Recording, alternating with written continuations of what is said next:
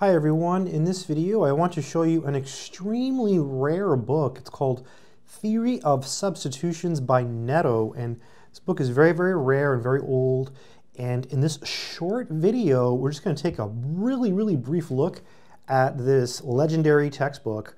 Um, all right, I'm going to go ahead and carefully open it up. I'm going to set it down uh, gently. Um, it's a very old and rare book and you can see the pages themselves are quite frail.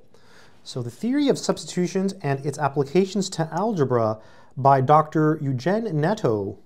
Cool, right? Very cool. I'm just gonna pick it up gently and give it a whiff here. Just, oh yeah, it's got a nice, nice old smell. All right, I'm gonna zoom out a little bit. Let's go ahead and turn the page. And University of Southern California. All right, hear what it says here. Let's look at the preface together, see what it says. The presentation, whoops, whoops. The presentation of the theory of substitutions here given differs in several essential features from that which has heretofore been customary. It will accordingly be proper in this place to state in brief the guiding principles adopted in the present work.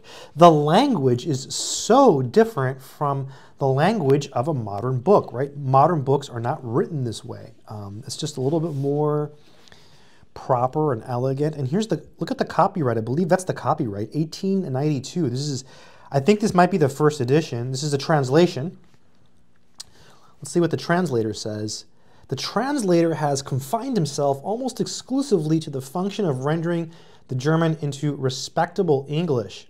My thanks are especially due to the Register Publishing Company for their generous assumption of the expense of publication and, and to Mr. C.N. Jones of Milwaukee for valuable assistance while the book was passing through the press. Ann Arbor. Yeah, wow. And here are the contents. You can see exactly what this book contains.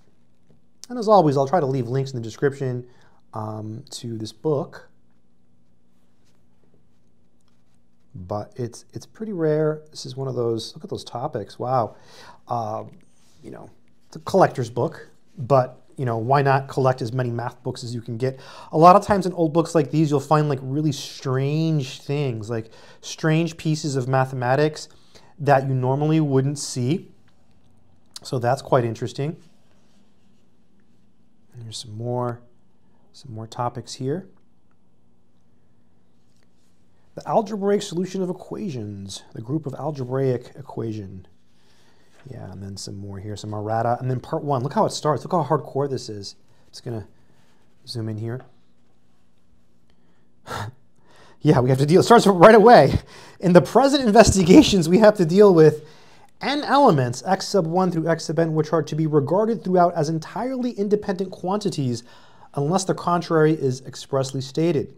And then it goes on and on. So you can see it's pretty hardcore. Uh, it's a pretty hardcore book. So definitely not for beginners.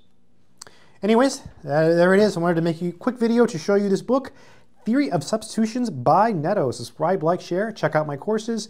Links are in the description. Take care.